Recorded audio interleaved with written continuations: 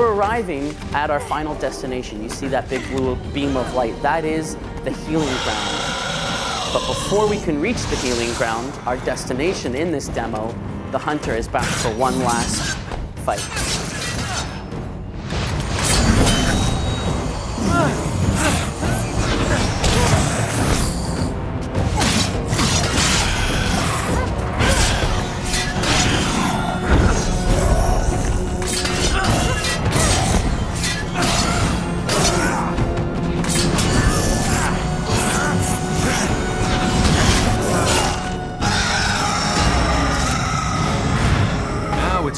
We should hurry before he comes back. Back?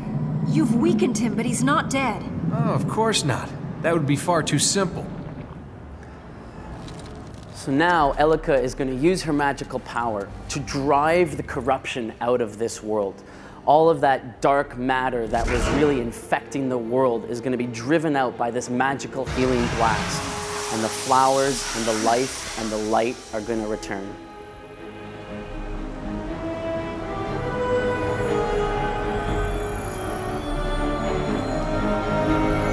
Do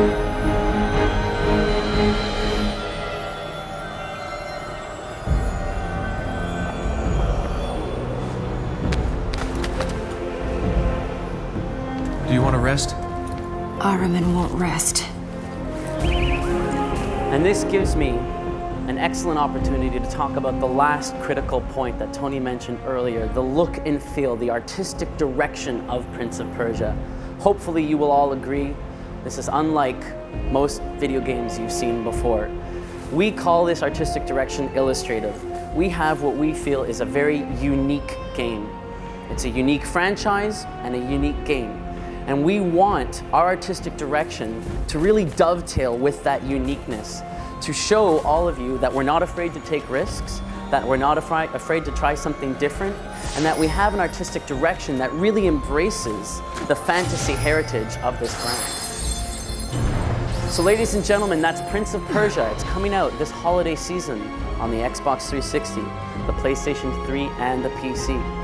If you'll just allow me to reiterate the, the four key points one last time all new artistic direction, I just mentioned it, I don't need to repeat it. Open world structure, bringing the player out of the linear corridors, out into the open world. Their gameplay choices impact how the game unfolds, how the story unfolds. No two players will have the same experience. Elika, a revolution, we believe, in the action adventure genre for the AI controlled support character. She never gets lost, she never gets in the way, she only ever makes you feel cooler. And of course, our all new combat system.